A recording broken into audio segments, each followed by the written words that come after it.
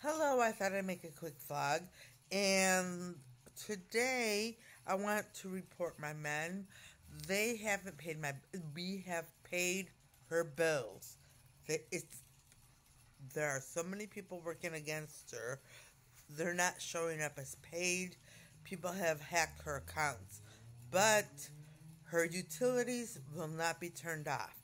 What about my AT&T phone? Okay. Yes, that is a constant battle, but we are going to pay the bill. Okay, let's hope so. Um, because I like the service.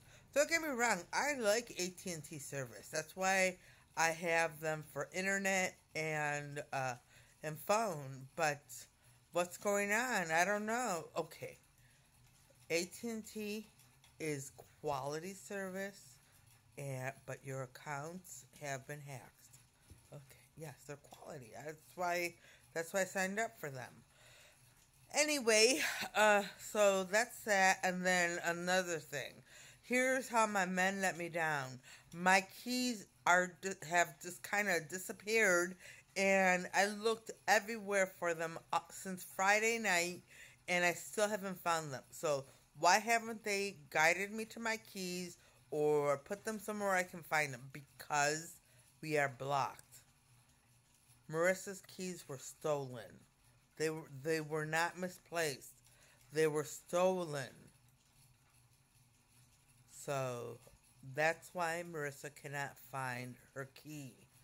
But we will give her her key keys back as soon as we can.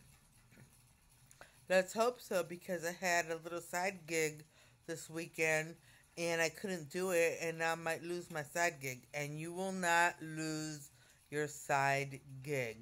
You will not lose it. The people who are in charge there understand that your keys were stolen, that you didn't misplace them. Oh, okay. That's according to my men, right? I don't trust them anymore. Okay. We will do everything to regain Marissa's trust. Okay, okay, yes, they're good guys. They're good guys. It's just a couple things that are upsetting me. They've been very good to me. And they provide excellent security and all of that. And I'm saying it, Marissa. So, and they keep me company too. You know, they talk to me. So I'm all alone. It's nice to have someone to talk to every once in a while. Yeah and they're helping me with the plans and all of that. So I can't really complain. It's those two things that they affect my life, so, and they will be hand, they will be taken care of. Okay. Okay. So anyway, um, I just I uh, you know, I did talk yesterday about uh, or speak yesterday about uh, mental disorders. You know, I don't know all of them, but I do know that. Um, I don't know. I mean, I just feel like they gave me this one, they gave me that one, they gave me this one, and I've had quite a few that I've had to recover from, and um, but I don't know what it's like for each individual because I'm sure that's a personal thing you know, and it is a very personal thing. There are commonalities among people with mental disorders, but it is a personal thing. Yes, and um, so, you know, if you are suffering, I'm, you know, I'm going to say it again. I know, poor baby, poor baby. I'm saying it, poor baby. Because it's like something that's so unfair. You know, you could get um, a broken, you can have a broken leg, or you could have a manageable disease, but your mental state really is what drives everything. You know, you ha- you have to pay your bills, you have to um, find a place to live, you have to get a job if you want, and all that. So, you know, and when you have mental disorders, that may be impinged upon. Not always, but for some, for, for most, for most. And I do feel bad for you. You know, I wouldn't have made it without my men and my family. There's no way I could have made, well, Jesus, actually, without Jesus. But Jesus put my family there, Jesus put my men there, and that's why I made it. And I prayed to Him and I asked for prayers, and I just trusted and had faith.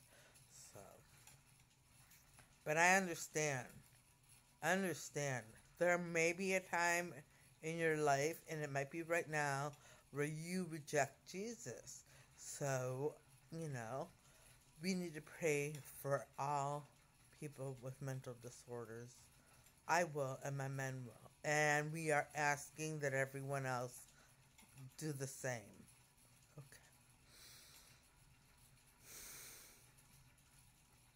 Anyway, uh, so that's that. A little complaining, a little bit about mental illness, and what else? You know, I'm stuck this weekend without my gig. I have zero money for the week. I have no food except a loaf of bread and two uh, ramen noodles. And we'll see. I don't know. I'm going to have to trust. I'm calling tomorrow to see if I can find. Well, I'm not going to say it. I'm not allowed to say my plan. So I won't say my plan. But I'm to see if I can handle this. And uh, that's it. That's it. I just you know, I I come on here and I talk about my life and my problems and things like that, and I really do apologize because, you know, this is where I vent. This is where I get things off my chest, and this is where, you know, I can find a place to um, to say what's really going on without people telling me, oh no, well, that's not true, it's a lie. What do you mean you're a genius? What do you mean uh, Jesus is helping you? What do you mean you have a plan to change the world? What do you, I mean, everything just gets shot down by people around me. Everything. You know, my men support me and they understand and they tell me, yes, but when I when it comes to just saying things, this is the place I go to. So I apologize if it comes off as complaining or whining or any of that. I do apologize, but this is where I have to go. This is the only place I have to go. Alright, and on that note, I'm going to end this vlog, and I'm going to say I hope everybody watching has a great evening tonight and a great day tomorrow, and things go your way. All right, bye.